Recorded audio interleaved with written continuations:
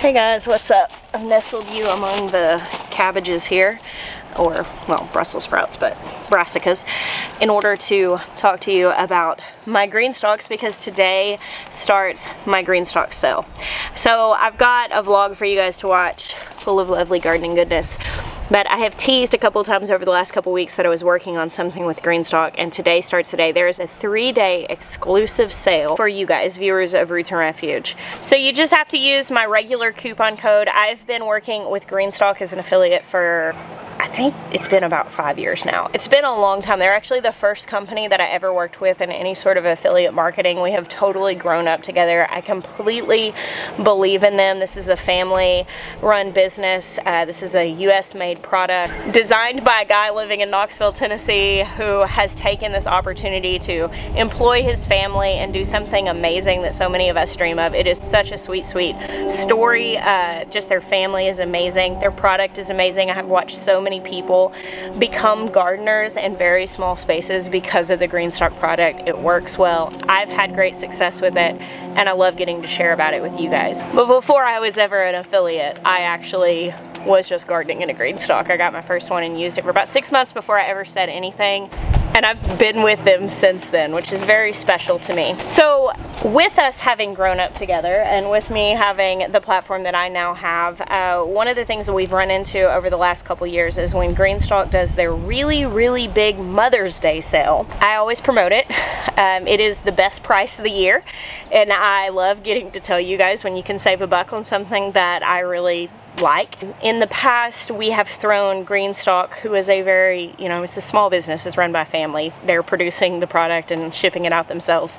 And uh, we've thrown them into back order. And so this year, they came up with a solution of giving me my own secret sale before the big Mother's Day sale. So this price is actually going to be um, a little bit better than the Mother's Day sale. So you're getting a little bit more of a discount. And basically with my coupon code ROOTS10 for the next three days, May 1st, 2nd, and 3rd, you can get $50 off either the original five tier or the seven tier leaf. So with that coupon code, that makes the original five tier $99 and it makes the seven tier leaf $119. There's no limit on how many you order. There's no restriction on color. A lot of times they'll have sales throughout the year, but it'll be like on a particular style or particular color. So you've got lots of options. And on top of that, they're offering free shipping uh, to the lower 48 if you order over $150. So if you buy two of these, you're going to get free shipping. Any order over $100 gets the new Greenstalk magazine for free, which I'm pretty excited about that. And I am really thankful that they're allowing me to tell my viewers first so you guys can get your Greenstalks shipped to you quickly without risking having to wait for a back order. Hey Denny. So people do often um, wait for these sales and I always tell you guys about them and, and, people wait to order their green stalks for these and I love the Mother's Day sale and now the Roots of Refuge pre-Mother's Day sale um, which gives you the opportunity to get this product at the best price possible. So here in the leaf I have some strawberries. This was kind of an experiment to see how they do and they've done pretty well here. Uh, Greenstalk does have a lot of information on their website saying what they suggest and I know the new magazine is going to have different like growing tips as well as coupon codes for future purchases. That is a pretty nice little harvest, don't you think? Hey boy, oh, did you go harvest? I've got more green stalks down there with strawberries in them. Did you go harvest some strawberries? Look, I was gonna share these with you. pretty good, huh? Here, you want another one? Look at that juicy strawberry. These are ever-bearing strawberries, so when you plant strawberries, you have June bearing and they all come on at once, and ever bearing, which means they continue producing throughout the season. If you're trying to plant a bunch to harvest all at the same time to like make jam, you would want to do the June bearing. If you're wanting to have like snackies in the garden throughout the season, I like ever bearing, so I put ever bearing in green stalks because I'm not really trying to like make jam with these. These are these are purely snacks. My kids literally come out here almost about every day or two and just strip these things. It's really windy out here. I've got my strawberry green stalks in here, which as I said, these are kind of just like our snack vertical gardens uh, that we use for fresh eating. I have two more over in the other garden. We have a big family with all of us snacking on them. Having uh, multiples full of strawberry plants has served us well. I have another project going up in the front garden. I'm doing some micro dwarf tomato projects in two five tier original green stalks. So this is the deeper one. The leaf is geared more towards, ooh, nice find. Uh, the leaf is geared more towards like more shallow rooted things. So I grow lots of salad greens in these, especially through like the fall, winter, and early spring. And then I'm doing the dwarf tomatoes in the originals just because it's gonna give them some more rooting space. And I'm companion planting those with some marigolds and some basils. And I'm thinking I may even throw in a couple of pepper plants just to see what happens. Fish. Fishy. I don't think you should plant them on the ground because ants get them too much. You can't eat them. You, you don't think I should plant what on the ground? Strawberries. Strawberries, you talking about the strawberries I planted over there? They've all got ants on them. I was just telling people about these green stalk planters. They And you, work better. Thank you, sir. That's hilarious. so over here I've got another original as well, well as a leaf. This one has lots of herbs in it. Both of these do. This is parsley. Um, here is some oregano. Actually, I really need to harvest this back and dry it um, and it'll just keep producing. Oh, you found a good one. Over here, I've got a big old chard plant that overwintered. Hey, here's a good one. Uh, that one actually could use a little more time. Yeah. Right there. Speaking of time, here's a bunch of time down here. This has been in here for, at this point, close to two years. I mean, since we moved here, so a year and a half. I've Um, been there for years. Yep, year and a half. So even with all my space, I actually still really love green stalks for like what Ben just mentioned. They keep things clean, like these strawberries have no bugs on them. Whereas I did plant a lot in the ground and unfortunately they're just covered in ants and slugs. And that's also really important when it comes to things like herbs and salad greens because it's really nice to be able to come out and grab a handful of things and then take them back in without having to worry about them having insects on it. Real food comes dirty, but if there is a way that I can grow that, that I don't have to think about that, I mean, I appreciate that. Carrot? Huh? Carrot? It's not the right time of year for carrots. We'll plant some this fall. One thing that's really important when you're growing in any sort of container is to fertilize it. Oh, it is windy out here. It stormed all morning. What'd you find, boy?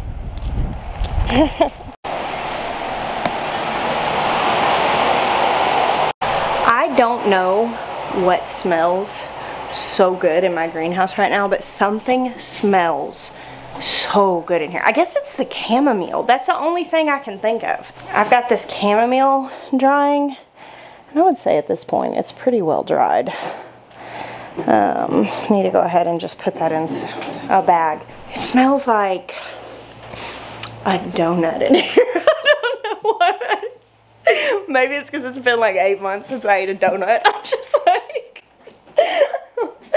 thinking of that stuff. I don't know. so I was trying to talk about this, but it was too windy out there. I was afraid you weren't going to be able to hear me. But one of the things with green stalks or any sort of container gardening you're going to be doing, fertilizing those on a schedule is going to be massively important because there's just a finite amount of resources in the soil when you're working on a container. I've found just like a good liquid fertilizer, whatever you want to use as far as liquid fertilizer or water soluble fertilizer, I like using something that's organic that I can put in just a five gallon bucket of water. I mix it in according to the instructions. Don't ever be tempted to supersize your fertilizer. You will hurt your plants, not help them. And when you go to water the green stalk garden, which has the reservoir on the top that you can pour water into, you just pour that fertilized water into there. I like to do it about once, at least every two weeks through the season. Like right now that my strawberries are producing, I'm trying to make sure I, I fertilize those about every two weeks, which is going to help those plants continue producing, continue setting on blossoms, and continue growing. Oh, we have cactus. cactus. You see those cactuses? They're cool, huh? Did you water your plant? Nice, good job. So over here I have some of my dwarf tomatoes that are for my green stalk project. As you can see, they're looking really, really nice. I was having some problems with stunted seedlings, but they're they're doing really well now. Over here are some more. Look at this. Just just a couple of weeks of feeding these and they took off. Got a nice strong root system. I'm excited. And because I wanted to make sure I had enough plants to fill my green stalks, I uh, started new seeds here. What'd you see? My flowers. Your flowers. We need to start hardening these off. I think we'll start moving these out this evening so we can go plant them out. All right, I gotta turn the fans back on in there because it is getting hot quick. So I actually have some footage that I shot yesterday I wanted to share with you guys, kind of some gardening we were doing out here. I had intended to finish the video at the end of the day and it started storming and then it has stormed all morning. I'm just getting back out here. I'm gonna go ahead and let you watch that now and I'll meet you back here on the other side. All right, go ahead now.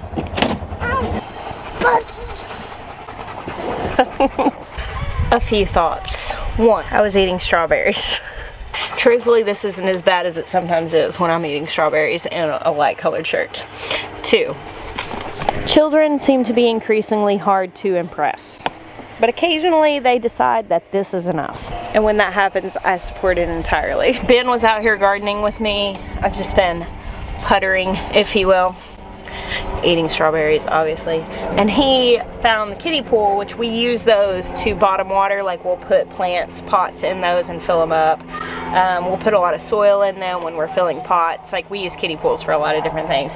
Ben found it and he's like hey can I fill this up and play with it? And I'm like yeah, I guess, you know, like I can't get too enthusiastic about it because then he'll he'll be on to me. But then Ezra found out that Ben was playing in the pool and he came out and like we're in at least an hour on this now, guys. Like this is fantastic. Had I bought them that pool and offered it to them to be entertained by, it would have never worked, but I'll take it where I can get it. Check this out in the in-ground garden. I've got beans growing all in here. These are looking awesome. I planted these the other day, Calima bush beans. My squash are Sizely.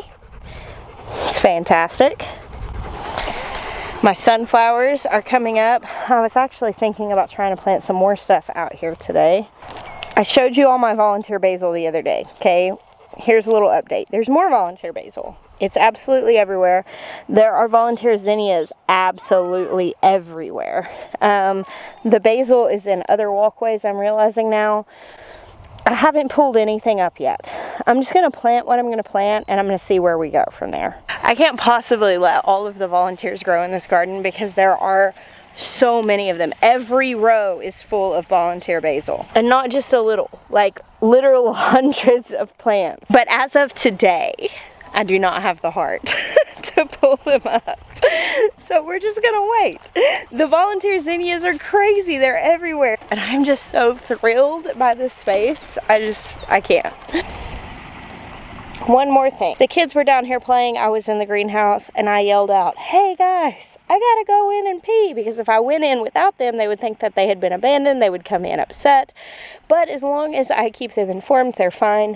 And then my neighbor, who's over there mowing his lawn, he yelled back to me, well, go pee then. And honestly, that in itself was kind of like funnily embarrassing, but now I'm telling all of you, but it's okay, we all pee here. So here's the parenting hack to be learned here. Just buy the $5 kiddie pool, leave it in the general vicinity of your children with a hose. Let them have the idea that it would be a fun thing to play in. Hey Ezra, there's a bunch of good strawberries in those green stalk gardens. Ben. I actually think I'm going to go ahead and plant a couple of rows of a bantam corn. It's like a smaller variety of corn. I also have some Star of David okra, some Jing orange okra. I have Texas Hill Country growing down in the other. And I have some Motherland seeds. I need to locate them because I'm going to put some of those up. Last year they got like 14 feet tall, which was really cool. Um, they were a little later in producing actual okra pods, but that's fine. Like these other ones produce early, those produce late we got to eat okra all year and that's all I really care about. Another little random thought. sweet peas. These flowers are actually toxic. Well, the pea pods are. I don't know if the whole plant is, but I know the pea pods are. I've never grown them before because in my old garden, um, the garden was right by the goat yard and there were a couple of times that the goats got into the garden and I was really weird about growing anything that could potentially be an issue for goats. Like I've never had azaleas. Like I grew up with azaleas outside my childhood home. I love azaleas. I think they're beautiful, but I've never grown them because they're very, very deadly to goats. Sweet peas, also very toxic. And this year, since I don't have goats, and to this point, my cows have proven to be creatures that highly respect fences. Uh, we actually planted sweet peas, and oh my goodness, guys, they're just starting to, they're just starting to blossom. These are the loveliest things I've ever smelled in my life. If I, I've never wanted smell-o-vision as bad as I want in this moment to be able to share this with you. Here in the south, we really need to like plant these in the fall, grow them over fall and winter into the spring where they start blooming. And right now I've got them blooming in the high tunnels, I got them blooming back in the garden. And I'm already planning like, how can I plant more of these? How can I have more of this in my life? It's so good.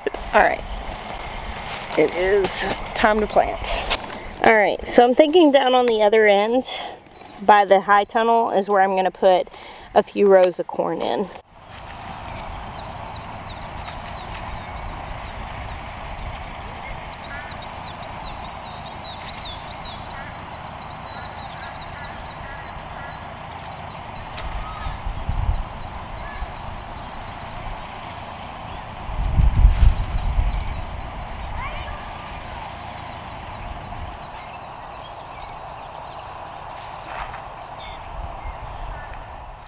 All right, I did two rows of the Bantam sweet corn right here on the end next to the high tunnel.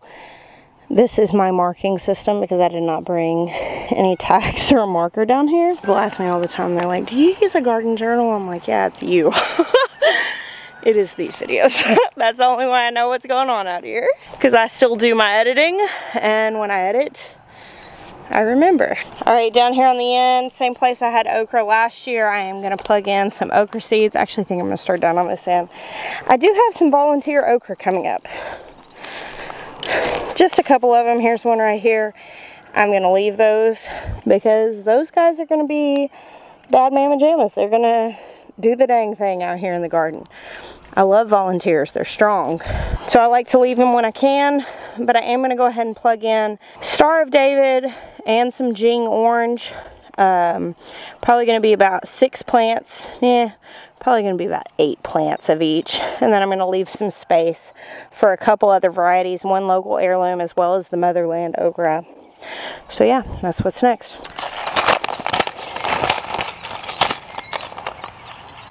Okay, so it's gonna go Star of David first and then the Jing Orange. I told you this was my way of marking.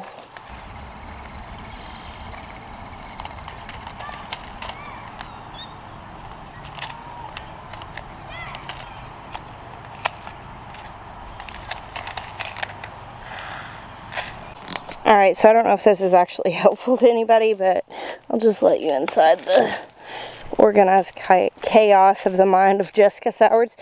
Uh, let's see, I just planted to like right here. And I usually lay a couple of definable like sticks or something down. That's what lets me know what I've planted, what I haven't planted yet. There's that volunteer okra, and I'm going to keep planting beyond that. But as of today, this is where we have seeds in the ground. This is going to be a really interesting space. Um, because as I have pointed out, the just massive amount of volunteers, all of this that you're seeing that's green is basil. It is in all of the walkways in excess along the edge of the beds just from basil going to seed last year. And there are also as many zinnias out here. So it's just kind of interesting. So kind of been steadily plugging away at planting, but I do have it in my mind to let some volunteers grow as we move on in the season here in the Singron Garden. So the boys moved out of the sprinkler while I was planting. Let me see those hands. You got raisin fingers? Yeah. Let me see. You've been playing outside for a while, huh? Mm -hmm. Nice. And I got a cut somewhere. Oh no. Benjamin, you're beautiful, boy. you planted corn with me? Yeah. Peanut butter jelly time. Peanut butter jelly time. Eh, hey, eh, yeah. Eh, so I'm moving a sprinkler around because I have a lot of seeds in the ground. We're supposed to get some rain this evening, but it's too risky, so I'm still sprinkling away. I've had some people ask me recently about irrigation, and yes, we have intentions to do irrigation. We do not currently have irrigation. We have water lines run to each garden area, but we haven't actually done the irrigation through the beds because we just haven't been 100% sure what we're doing. It's on the list. So right now, we're doing sprinklers. It's not ideal, but you know what? Sometimes you don't have to garden in the ideal way to get a harvest. And uh, yeah, we're just doing what we can. All right, back in the windy post-storm garden. I was excited actually to get all this rain because it rained in all those seeds that I planted. Miah actually spent the day out here yesterday building me this garden bed which he posted a video about. I'll link that as well. I don't know if you can tell, but I've literally spent like every waking minute that I could out in this garden this last couple of weeks. It's been very good for me and it's been very fun to share with you.